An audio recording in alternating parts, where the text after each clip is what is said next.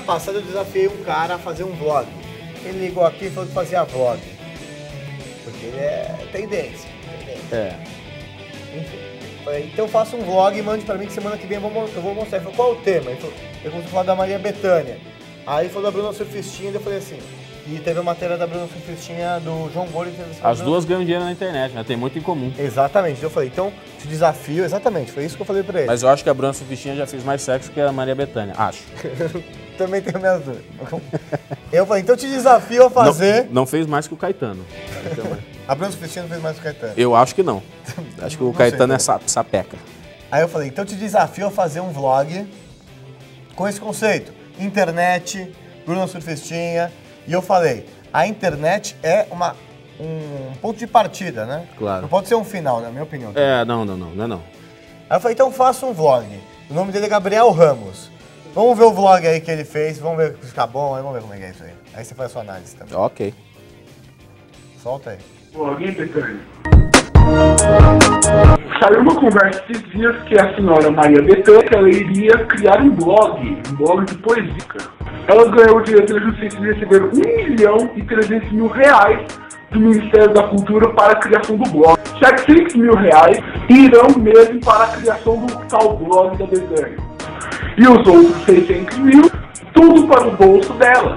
Porque, se eu não me engano, eles vão produzir 360 vlogs. Vlogs esses que seriam vídeos dela lendo poesia. Existem milhares de vlogs por aí que não recebem nada. Que não...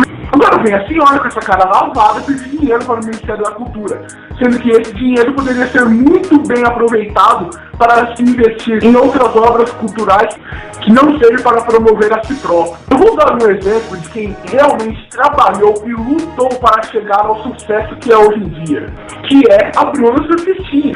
Ela fez um trabalho digno, um trabalho de ser prostituta, que não é nenhum crime nada fácil, como dizem por aí. Filme baseado em uma de suas biografias, que hoje é um dos maiores sucessos da bilheteria nacional. Pensar, quem trabalha tem o seu dinheiro digno um dinheiro suave. Tantas obras culturais que são 10 mil, 1 milhão de vezes melhor do que esse blogzinho mequetrefe que precisam do patrocínio do Ministério da Cultura e vocês nem ligam para o projeto.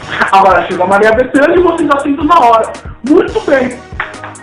Parabéns, parabéns para a senhora Ana de e espero que a Maria Bethânia, que realmente é do tempo do papel e não sabe que para produzir na internet não precisa de tanto dinheiro como ela imagina, espero que ela venha a público e se retrate, mudando totalmente o rumo desse dinheiro tá? E coloque em obras públicas culturais, peças de teatro, tudo que o povo brasileiro poderá ter acesso. Porque nós damos tanto dinheiro aos impostos criados pelo governo que eu acho que o lazer poderia ser de graça, né? Para com isso, Betânia!